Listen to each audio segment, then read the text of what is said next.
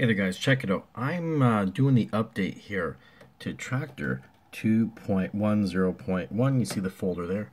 Um, if we take a look at this folder, and by the way, this is inside your document folder. There's a Native Instruments folder inside there. You've got the Traktor folders. I'll take a look at 2. Point, my last update here.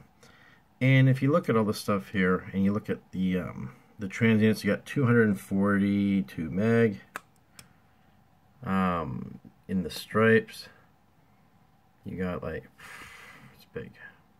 Straighten this over a little bit here. And make this a little bigger. 1.47 gig. 81. You know what I mean? Like, look at that. Another, the cover art.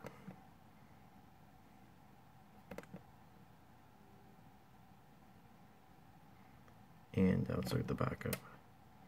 So, you know, that all adds up. So the interesting part is most guys don't realize you probably never even looked in here. So you probably have a Traktor 2 point blah, 2 point this, 2 point that. You could have any number of them because what happens when I open up here and look, there's nothing, right? The reason there's nothing because I'm at this point right here where it says do you want to import your collection preference and preferences from a previous installation? They recommend it. Click no start from an empty collection. Well, who would ever want to actually do that, right? You really want to start from an empty collection because, like, shit, it takes you a long time to analyze this stuff. But here's the real big dilemma. As you know, I've been having issues with the uh, sorting of my BPMs and all kinds of stuff. Some people think I'm nuts because they're not having any issues at all. But if you take a look in the forums, you're going to see real quickly that there's a lot of people having this issue. So, if you're doing the update and you're having issues, maybe you want to take the chance and say, um, no, and start with a brand new empty collection and re-import and reanalyze all your stuff. But I have way too much shit in my computer and I gotta do some mixes. So I'm gonna say Yes, import it. Default path. Yep. And there's going to just copy everything over. So, what you're going to notice though is now, if we look in our documents folder, it's going to turn native instruments. And now, all of a sudden, things are being built cover art's being added. You know, everything's get moved over. The real problem at the end of all of that is you're going to have that duplicated over here.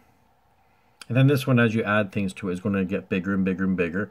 And then the next update, the next folder will be bigger and bigger and bigger. And you're going to be run, run out of space very quickly. So what you're going to want to do is well, basically, just delete the old one. That's pretty simple. Throw it in your trash can. And don't forget, because I know there's a lot of Apple users out there that really don't know Apple that well. They just have a MacBook Pro because, you know, it's the best thing to have for DJ. When you trash that thing, you gotta go up to your Finder and you gotta empty the trash. You can't just throw it in there because you can recover it, therefore it's still taking up space even if you don't see it there. So, yeah, anyways, we're getting right down to the countdown here. As you know, I'm going to be doing 420 reviews and messages and things like that for people and talking all this stuff. And um, I'm going to have to kill a couple more seconds here. And that thing's still going. So anyways, we're coming up here. Have yourself a happy 420, guys. Talk to you real soon. Bye.